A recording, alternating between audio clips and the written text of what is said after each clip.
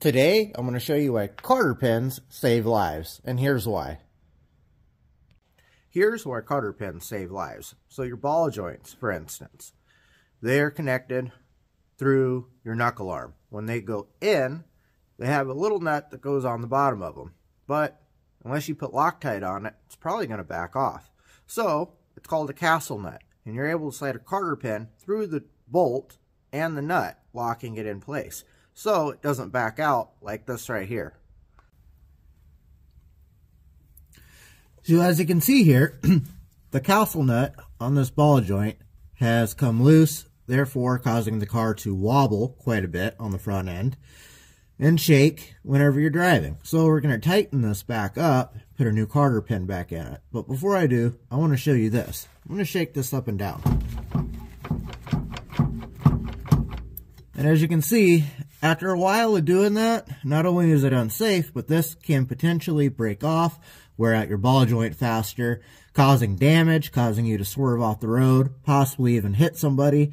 You can get hurt. People could even get killed. So, a cotter pin can save a lot of time, money, frustration, and possibly your life by having one properly installed the way it's supposed to be.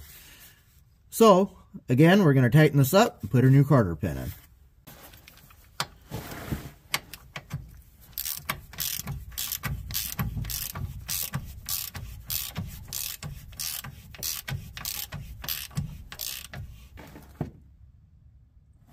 All right, there we go. We've got it tightened up. Now, we're going to put a cotter pin in here.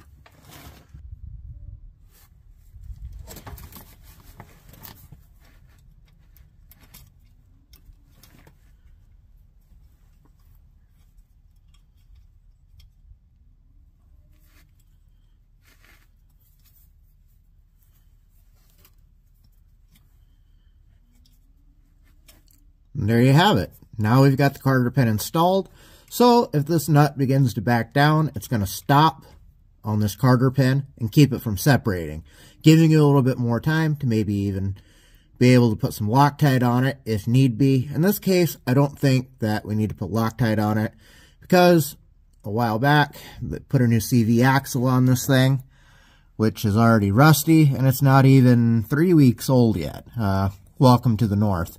But I don't believe that they got this uh, reconnected properly because they obviously didn't put a cotter pin in it. So I had to do that myself. So always make sure you follow up on your mechanic's work. You shouldn't have to, but sometimes it's just a necessity.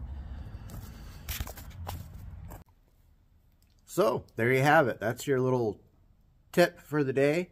Make sure that your front end is safe and make sure that you have cotter pins in your ball joints and tie rod ends uh, whenever you replace them. Uh, and if you have it done at a shop, go back and make sure that everything is tight, torqued correctly, and the quarter pins are there. Because sometimes shops can be lazy. Not all of them. There's really no reason you should have to go and backtrack on your mechanic, but there are some fly-by-night shops, and sometimes there's fly-by-night people. So just keep safe and stay up to date on all your stuff.